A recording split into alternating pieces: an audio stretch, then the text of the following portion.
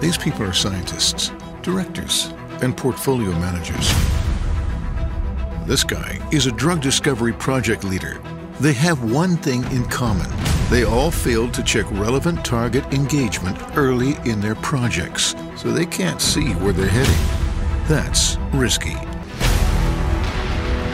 Ouch. Let's make sure it doesn't happen in your project.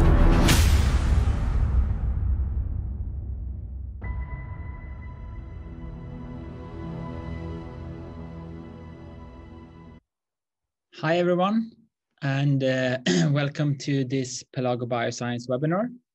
I think it's uh, uh, 5 uh, p.m. CET sharp, so I think people will uh, will keep dropping in. But uh, let's let's get started as it's time. Thank you all for taking the time to join join today. Today's webinar will talk about expanding the scope in drug discovery with the new CETSAble targets. My name is Joachim, Business Development Manager here at Pelago Bioscience, and I will start with a short introduction about Pelago and the CETSA technology. Then my colleague, Helena Almqvist, a senior scientist here at Pelago, will uh, walk through the new CETSAble targets. First, talking about how Pelago validated these new targets, uh, going through the lab work and the example data, and then also going through uh, some internal R&D project utilizing the CETSA technology, um, so the Navigate HT technology for primary screening. If you have any questions, um, please uh, write them in the chat as in the end we will uh, have a Q&A session uh, where we'll do our best to answer uh, any questions that you might have. So I'll kick off with uh, telling you a bit more about the Pelago Bioscience. Pelago Bioscience, uh, we are a specialized CRO focusing on the CETS technology, uh, which for which we have the uh, control of the IP, and uh, we, we, so we focus on uh, on that as our core core assay. But as a company, we continue to develop and we seek to push the boundaries in in drug discovery. So today we offer uh, services extending beyond CESA, CETSA, but still focusing on biologically relevant assays. Uh, and we aim to deliver smart assay services to uh, help driving drug discovery projects forward. We have our, full team, including our expert R&D team, uh, in our state-of-the-art facilities here in Stockholm, Sweden. So going into uh, to CETSA and why it's valuable. So for a drug to be effective and safe, uh, the compound must bind to the, uh, to the target protein at the intended site of action a process known as target engagement. That this is crucial throughout the drug discovery process, uh, from target validation to uh, hit confirmation, uh, from from uh, target validation through hit confirmation in uh, preclinical studies. And uh, so about the, the technology, how can CETSA help you navigate your chemistry and explore the biology? So CETSA is a label-free method. Uh, so it enables you to assess target engagement in intact cells, so closer to the actual physiological conditions that your drug is intended to act in. It's based on a core protocol uh, consisting of four steps. We uh, treat uh, cells with compound, heat across a temperature range, and then separate uh, at each uh, temperature step, we separate the Eh, folded protein from the denatured protein. And then we detect the amount of fold, folded protein that is remaining in eh, the soluble fraction. We can uh, detect the, the remaining protein with two different detection methods. Either our targeted format, the CETSA Navigate, which is utilizing antibody-based detection, or CETSA Explore for protein-wide drug profiling utilizing mass spec detection. CETSA work with uh, any sample type. We have worked with everything from standard cell lines to uh, primary cells, PBMCs, uh, tissue homogenates, and even bacteria and plants. So it can be utilized for most uh, sample matrices.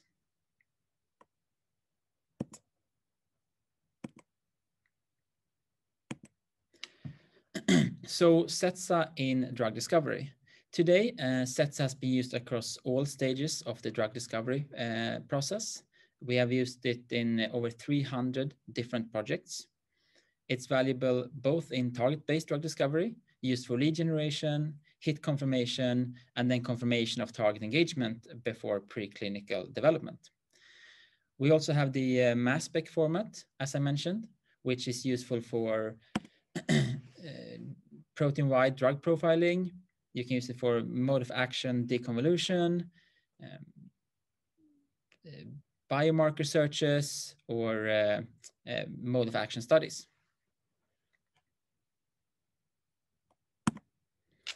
So the CETSA principle is based on the thermal profile of proteins, how they degrade with increasing temperature. As is illustrated here, uh, we have a native, native protein and increasing the, the temperature increases the amount of protein that denatures, uh, as is represented here by, by the blue line. If we add a drug, uh, the drug the drug may induce a thermal shift of the protein uh, when it binds to the protein, as, as illustrated here uh, by the dotted line, where the uh, drug protein complex has a different thermal profile uh, compared to the native protein, uh, also called a thermal shift. And this is what we're looking at using the CETSA technology. As we will be focusing on the high throughput format of CETSA today, I like just to briefly highlight how we, how we then detect the remaining uh, uh, soluble uh, native folded protein.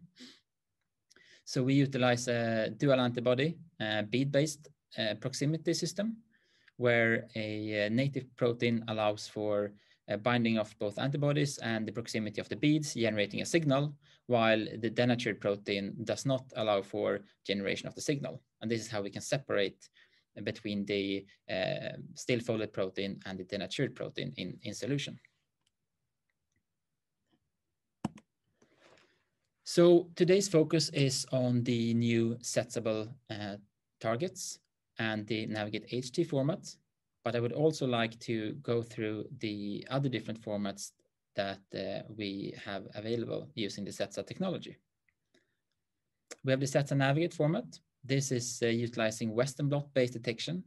It's ideal for when you have, for example, five to 10 compounds uh, to confirm target engagement or to uh, for translational studies when you need to progress your project into the next step. Then, as we will focus on today, the Navigate HT format, uh, plate-based system uh, using AlphaLISA and HTRF for detection, uh, applied for screening, hit confirmation, and SAR analysis. And then also the protein-wide CETSA uh, using mass spec detection for protein-wide uh, drug profiling.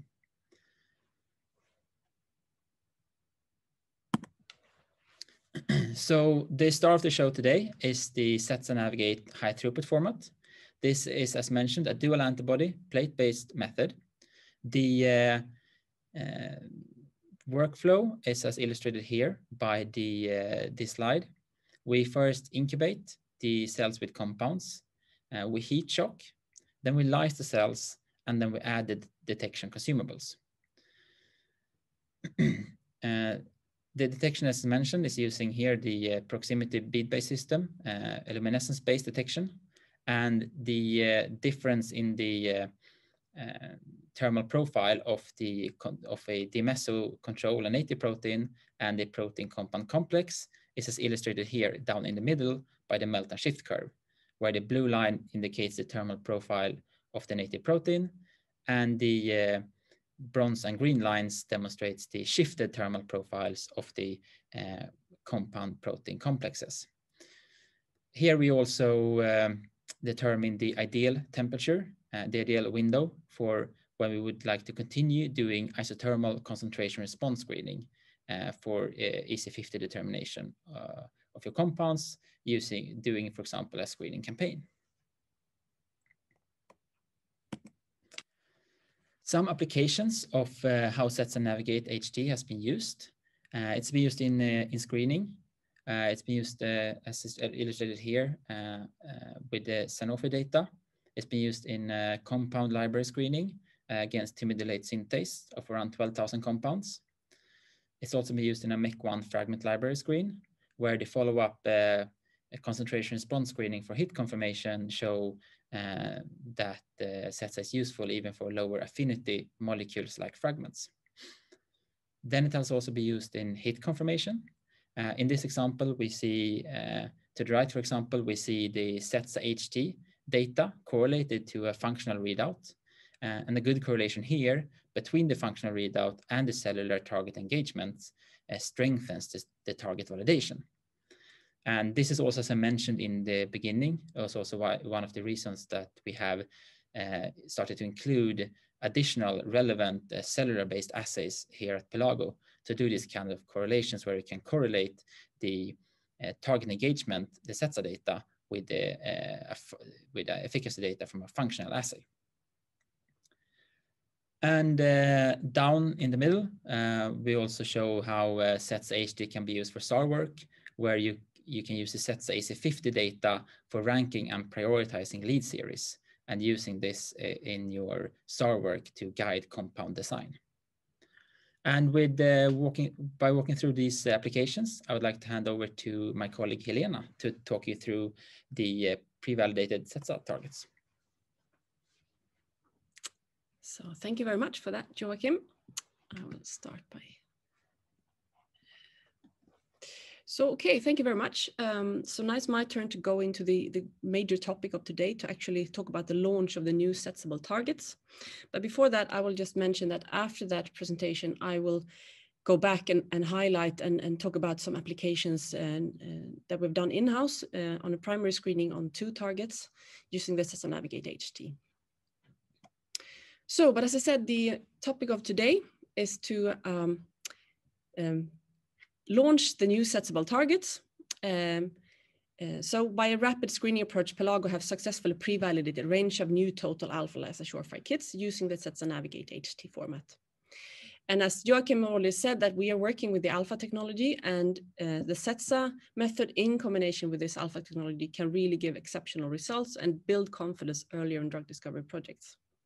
So with this new strategy that we have, uh, we're now launching and the this screening approach, we are now launching 41 new targets that are available for uh, CETSA studies. So in this slide um, highlights the uh, or shows the over now over 50 targets that are, have been used in CETSA HT uh, Navigate format. And uh, we just want to highlight the different localizations that the targets uh, belong to. It's both nuclear, cytoplasmic targets and, and membrane associated targets.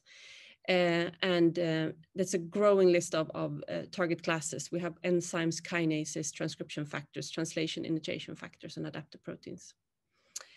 Um, and I just want to stay a bit longer so you can really try to see what, what target names there is, but uh, we will get back to this list, of course. And you can also contact Pelago if, if your uh, protein is not on the list as well. Um, so uh, why did we come up with this approach to, to do this rapid screening approach? Well, uh, we've uh, previously we have CETSA validated one target at a time or one kit at a time and full, done a full validation, but we really wanted to increase the number of CETSAble targets. So we thought that we could uh, come up with a new approach. And the key questions that we wanted to answer was that, is the target detectable in common cell lines using the high throughput alpha technology? And does the target have an optimal melting profile? So is it suitable for target engagement CETSA studies? So can we detect it? Can it be melted? And also, does the assay have a good quality and is the assay suitable for CETSA target engagement measurements of small molecule target interactions? So I'm going to go into in, in more detail how the, the actual lab work was done and how the experimental design, but Again, I just want to highlight that this was a rapid screening approach of many targets at the same time. And since we applied the same screening conditions on all targets, we considered the targets or the kits to be pre-validated, but the data is still very high quality and we have high confidence in the data. Uh, and then saying the showing CETSAble, uh, meaning detectable and meltable. So uh, this is a slide showing how we actually designed the study. Uh, so from the beginning, we needed to select what targets to start with uh, and also what cell lines to, to, to screen or to look into. And we also needed to decide what assay conditions. And as I said, we wanted to apply the same assay conditions for all targets. So we needed to come up with an optimal um, assay protocol for all targets. So based on previous experience, we ended up with 10,000 cells per well and the CETSA lysis buffer 3 um, was used throughout the uh, study. And then we also wanted to do a quality assessment of the assay conditions and workflow before we actually did the, the screening. And that we did with already pre-validated uh, kits. Then when we had set the conditions and the workflow, we then performed the actual screening campaign and screening meaning that we screened a lot of kits. And we did that in two steps. So first we did a six temperature melt curve profile in two cell lines. And then we selected uh, one cell line to move forward with. And also for the qualified targets, we moved into a full temperature melt curves, uh, melt curves. Uh, and we repeated that uh, experiment over two to three days to gain confidence in the data. And then as a next step, uh, we also wanted to verify target engagement for some of the targets that had available uh, tool compounds. So we also have done full melt and shift curves for selected targets um, with available tool compounds. And then, of course, I just want to highlight that, that if there are no tool compounds available, uh, which is the case for some targets, there is, of course, a future potential application uh, that you can do uh, primary screening and identify novel tools using CETSA library screening with these kits for detection. So going back to the experimental design, how we actually, um, yeah, um, came up with the idea. Uh, and we went through the whole um, PerkinElmer Alpha Kit catalog. We identified 166 unique uh, UniProt IDs. And then we went to Human Protein Atlas and extracted the mRNA level uh, expression data for all of these targets by looking at this, combining the data and doing a big, big bioinformatics study, we saw that 109 targets had uh, mRNA expression levels over two in two commonly used cell lines, U2OS and THP1 cells. And out of those 109 targets, we then selected 46 AlphaLISA Surefire Ultra kit uh, based on that uh, the target is, is uh, not secreted, and the target has not previously been CETSA validated, and the kits were ready available. And we also wanted to use the same bead chemistry since it was easier for logistical reasons in the lab to use a kit with the same uh, assay protocol. And then we did, as I said, a feasibility study, a quality assessment of the assay conditions and workflow. And we did use the previously uh, validated um, sets of validated kits to check the optimal assay conditions. And as I said, we, we, um, we uh, ended at 10,000 cells per well and in this study, we compared three different lysis buffers because we have seen that that is highly critical. And different targets are localized differently, and the, the lysis buffer is really critical. So we compared lysis buffer one being a harsh, um, a harsher lysis buffer, two being the mildest detergent, and three being a medium detergent uh, uh, lysis buffer.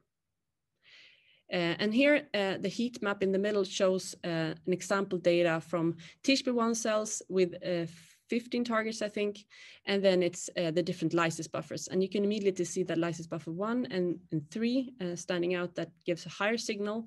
In general, the lysis buffer two produced uh, lower signals in general. And we have also a panel of, of, example data from a previously validated kit, MEK, that they all uh, produce very nice melt curves, but you see that the signal were generally higher for, for the L lysis buffer 3. So that uh, was why we selected the lysis buffer 3 to move forward. You can also here see that the mRNA level um, that we extracted from human protein atlas correlate really well with the detection that in the U2OS cells for MEK, we have higher expressions than in the THP1 cells. So, and then we moved into the actual uh, screening of the new kits. Uh, and as I said, we selected 46 kits, uh, total Surefire Ultra uh, kits. And in the first step, we did this six temperature melt curve profile in both cell lines. So the, uh, the targets were either expressed in both or in one of the cell lines. And the first example here is PLC gamma 2 and 1 and 2. And as you can see, they have different expression levels in the two cell lines, but nicely nice high signals and also nice melting profile. For in a elongation factor 2A and 4E, we see a later melting. It melts, um, it's a more stable protein. Uh, but you also see a quite high uh, expression and also nice detection and also quite a uh, bit cell-specific uh, melting profile. For the SMADS family, uh, we had um, SMAD 1, 2, and 3.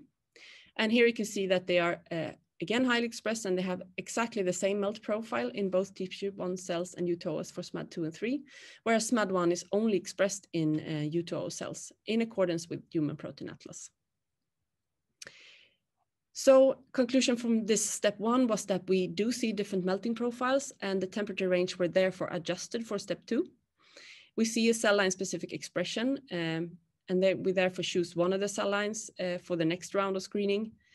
And 41 of in total 46 kits were qualified for step two. And in this case, qualified means that under these assay conditions, we saw a melting and a nice detection. For some of the proteins, we detected them, but they couldn't melt and Maybe they also needed some other lysis buffer, etc. So the assay one was not optimized. So for the 41 qualified kits, we then moved into and did full 12 temperature melt curve uh, studies over two to three days in one of the cell lines. And here's six examples of, of these um, new targets and their data is visualized in an informatics system called signal screening. Um, and um, the visualization is done in Spotfire, and this is from PerkinElmer. The, the data has been plotted and, and visualized by PerkinElmer. And this slide down here shows the wide melting range of all the 41 targets. It's a very busy slide, but you can see that it's a very wide uh, range of, of melting profiles.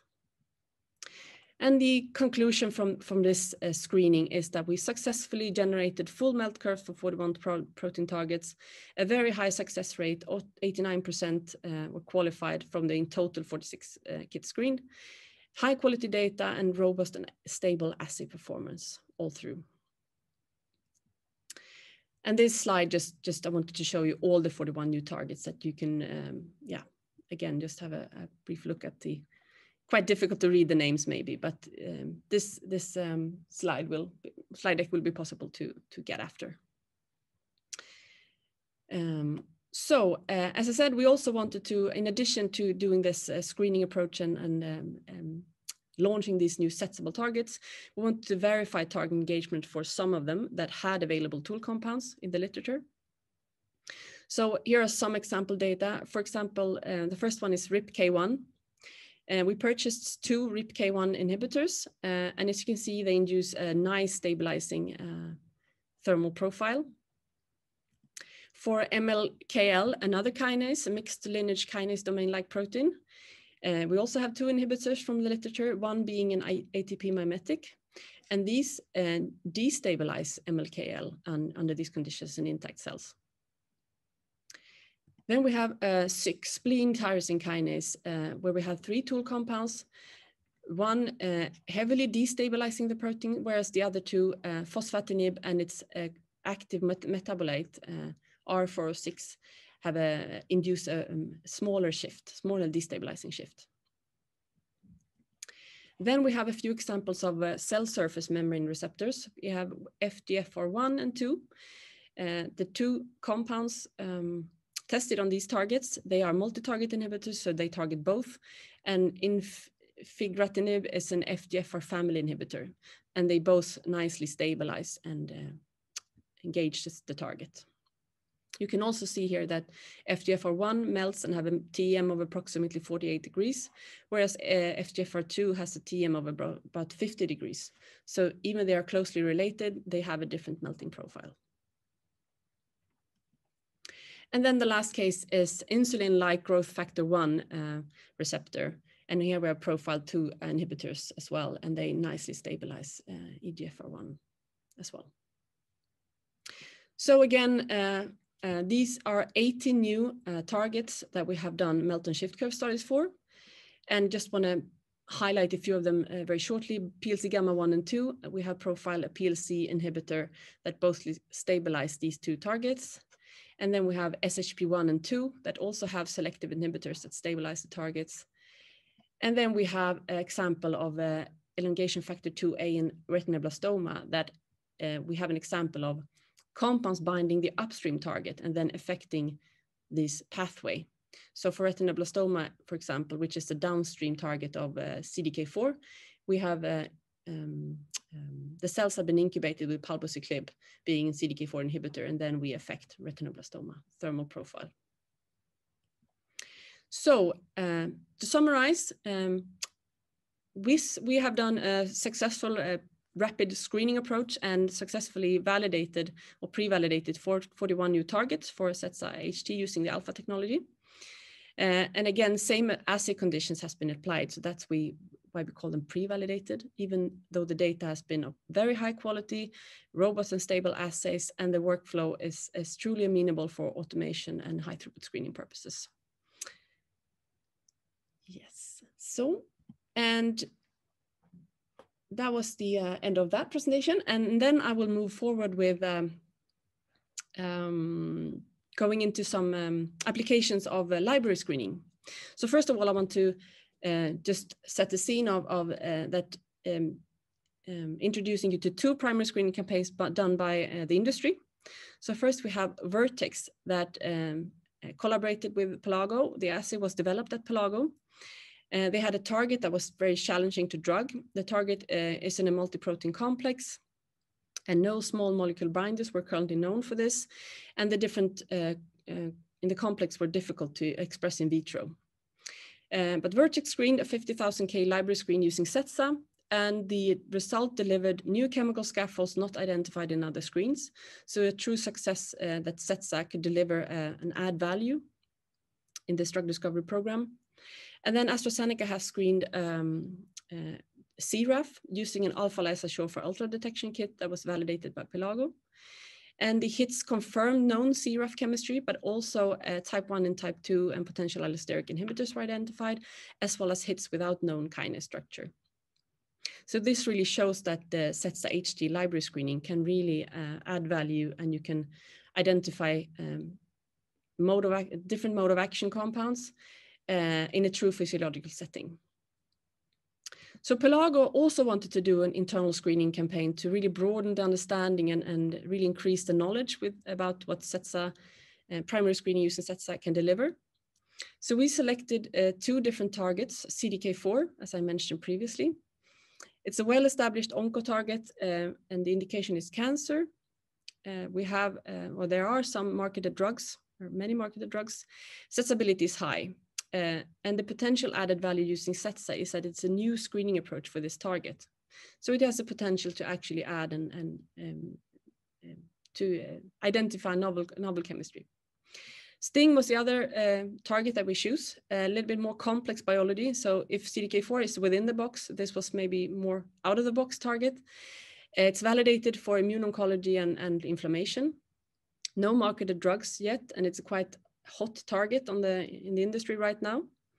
Also high sensibility, and here we have the potential of screening for both agonists and antagonists since uh, there's been different mode of action uh, reported on, on this target. So we first started to, uh, the assays were validated using these Surefire Ultra kits in two different cell lines.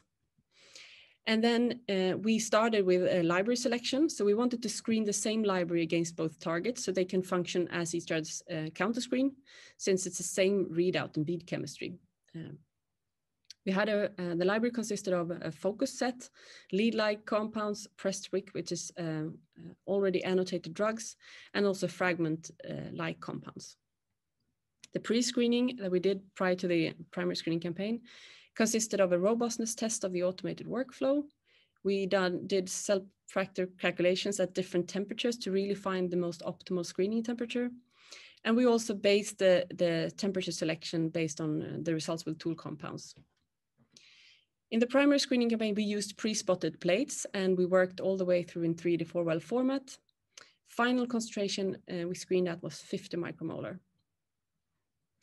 And then after the screening campaign, we followed up all the hits from both uh, target screens on in both assays. So all the hits from CDK4 and all the hits from CD, uh, Sting were uh, mixed together, and then we screened them on both targets to again function as a, as a counter screen. And we screened them at 50, 10, and 2.5 micromolar to have a small three-point concentration response uh, data. And then where we are today, and we have uh, smoking hot data directly come, came from the reader last week, we have done full concentration response curves of some of the selected hits. So uh, just want to highlight a few things about the, uh, the, the pre-screen uh, of uh, CDK4, and this is those is the pharmacological validation using some tool compounds. Uh, so this um, assay was developed in THP1 cells, and here are three tool compounds nicely stabilizing CDK4, palbociclib, as already mentioned, ribociclib, and abemaciclib. And we selected 46 degrees uh, as screening temperature. And uh, this is the data from the pre-screen, and the assay was really robust with a um, stabilizing assay window of 0.8. And then for Sting, um, the melt and shift curves look a bit different. As I said, there are different modalities. So Sting melts nicely, and then we have an agonist, diABZI Sting, which is a which diABZI, which is a GSK compound that massively stabilize STING here, as you can see. And then we have two covalent inhibitors that destabilize STING. So the, the trick was here to find or to identify a temperature where you can identify both uh, destabilizing compounds, but also stabilizing compounds. And after doing some tests, we selected 51 degrees as a screening temperature. And then moving into some, some highlights from the screen campaign. This is just a plate layout saying that, um, that we populated the, the compounds in column 1 to 20, and then we had some internal controls, cells incubated with DMSO as an isothermal control, and then we had positive and negative control um, being unheated cells and fully denaturated uh, protein, where cells have been heated to 70 degree. This scatter plot shows uh, the data for CDK4, and the dotted line represents the uh, normalized values for the unheated cells or the controls, and then the red dotted line here represent the uh, normalized value for the fully heated or denaturated protein. The dotted line in the middle is the isothermal control, and then these the color dots in between is all the small molecules applied in the screening campaign. And as you can see here, uh, that we identify uh, many preliminary stabilizing hits. And the hit rate was around 1.2% in the screen. For Sting, it interestingly looked uh, very different. As you can see, uh, we applied the same library and uh, as you can see, I do identify some stabilizing hits, a fewer hit rate, uh, lower hit rate for the stabilizing hits, 0.2. But the interesting thing is that we identify a massive amount of destabilizing hits, and it appears to be library dependent as well.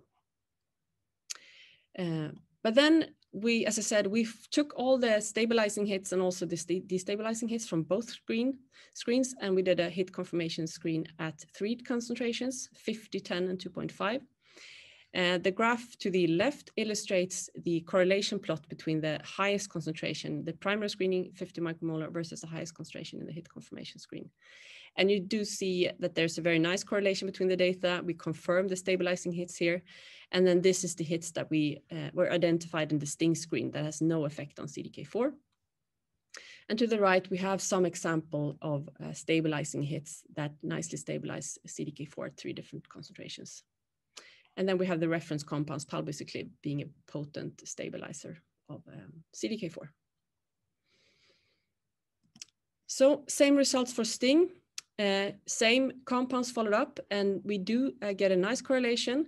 We uh, we confirm the stabilizing hits again, and we also confirm uh, many of the destabilizing hits. In between here, we have some compounds that has no effect on, on STING, but has an, a stabilizing effect on CDK4. And again, some example of the three-point concentration response curves of some stabilizing hits. And the reference compounds, diABZI, this potent GSK compound that uh, massively stabilizing, and then the covalent inhibitor being a destabilizer.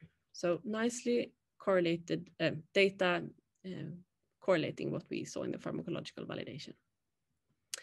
So to summarize uh, that uh, we have now done a successful primary screening campaign on these two targets and we are full focus forward and we have done the concentration response and we are now planning for doing melt and shift curves for selected compounds and to do functional assays as well to really see that they have an um, effect uh, on the target as well.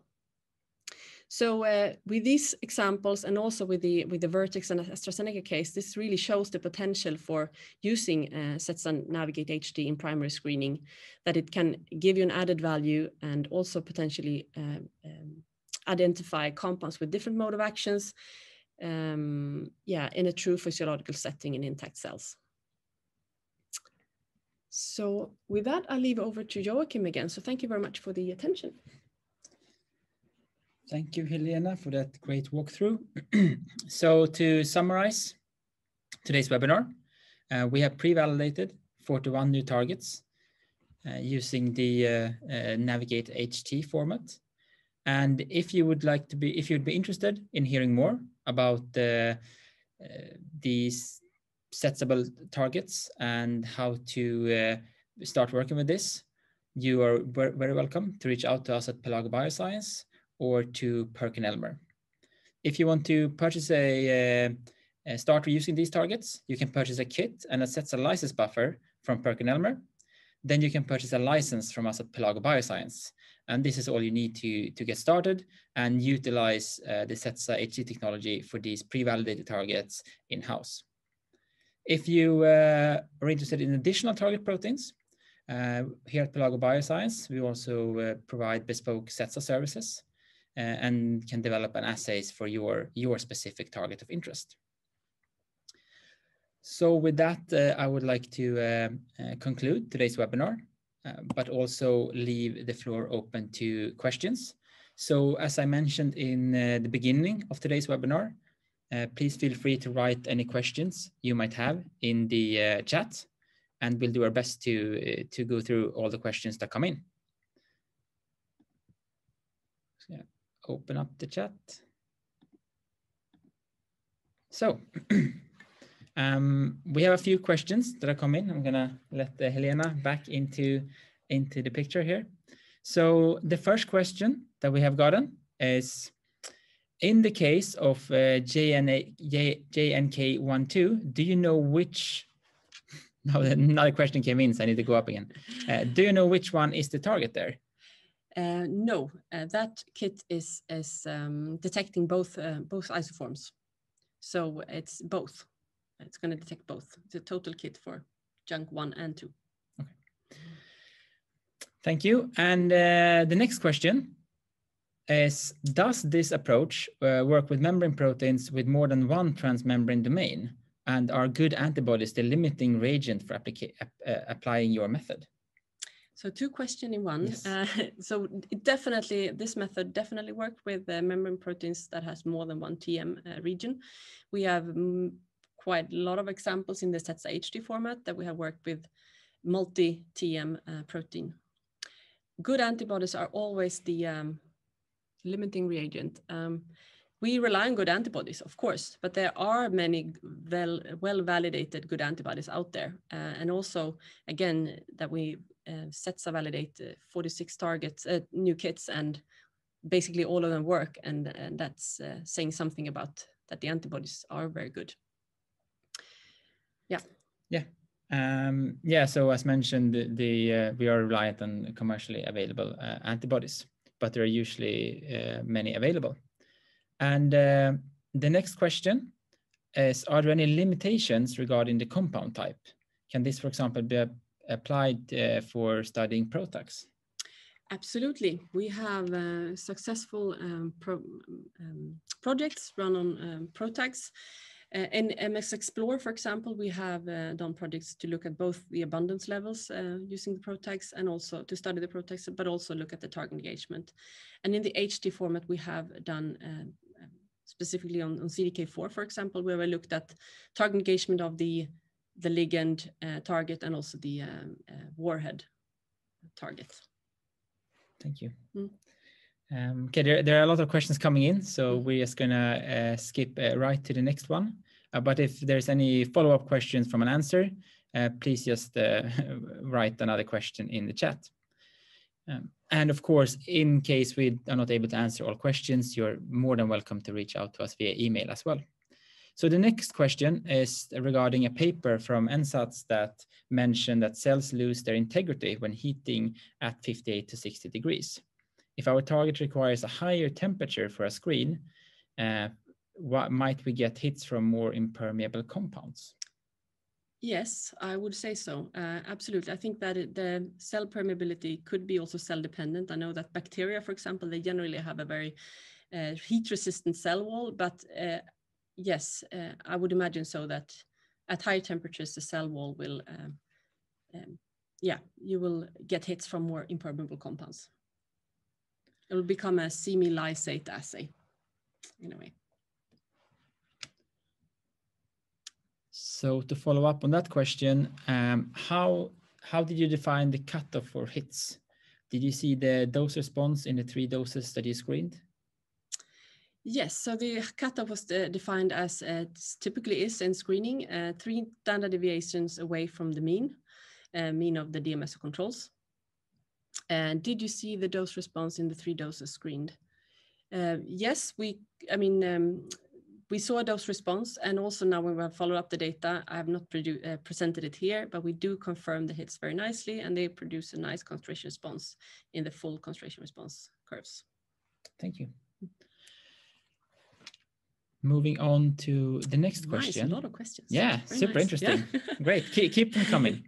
Uh, always nice to have interesting discussions. So how sensitive is the alpha CETSA in terms of identifying stack ranking of compounds? For example, if many compounds have closely related IC50s, uh, can alpha CETSA separate these compounds from each other? Uh, I would definitely say that the CETSA using alpha technology has the great potential of doing that. Depends on all, of course, the uh, the compounds itself. They need to be um, soluble and nice behaving.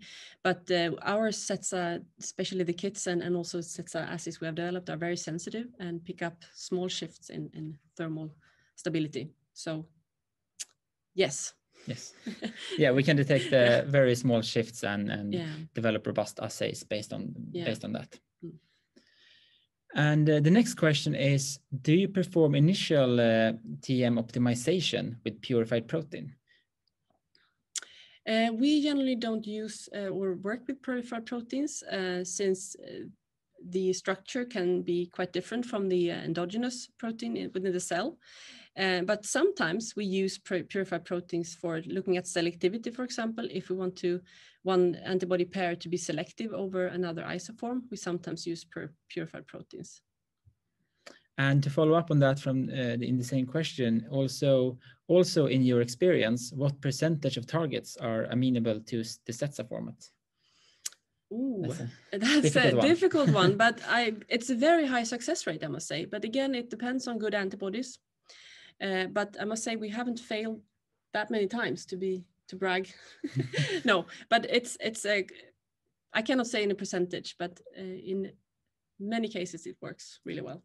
Yes, I'd say in uh, almost all of the most absolutely the major part of all the assay development we've done has been successful. And usually, if uh, uh, we uh, look at it like an in silico assessment beforehand, and if we don't think it's like a feasible CETSA target, for example, in a client in a client project, we wouldn't we wouldn't go ahead with that uh, with that project if we didn't uh, feel it would we would have a good chance of success. And the next question is, have you ever compared heat identification in cell lysates with that in intact cells? Uh, I must think. No, we have not done that study. I'm thinking if the data that we showed, the correlation was a biochemical assay and a cellular functional assay, but we have not done cell lysate versus intact cells, but that would be very interesting, of course. Um, but we have not such, we haven't got that data set.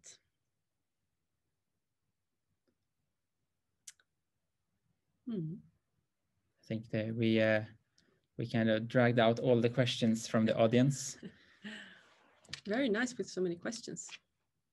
Yes, thank you all for uh, uh, attending. Uh, then there's uh, one more coming in. Mm. Um, so more of a technical questions. When processing alpha CETSA in a 384 well plate, how do you go about heating the plate evenly and accurately? Mm. Is there any instruments we need to do this heating step? Uh, yes, we do. Uh, so everything is done in PCR plates. So you then need a thermal cycler that is uh, um, for 3 to 4 well format, of course. Um, So we have that in the lab. We have a dual heat block that we can have two plates, but there's also possibility to do to heat the plates in, in water, for example, which is the standard well, from the beginning PCR machines were based on water. But we have a, a thermal uh, heat cycler uh, three to four well format. Okay, so we have some we have some technical questions coming in here, Mhm. uh, and the next one is: Do you clear heat shock lysates before transferring to AlphaLISA detection plates? Um, if you mean that if we run an intact cell assay, if we do any clarification or centrifugation, that answer is no. In the um, CETSA um, or the using the AlphaLISA technology, that assay is truly homogeneous. There's no um, um, centrifugation steps involved. So yes, no. The lysate is directly transferred without any uh, clarification.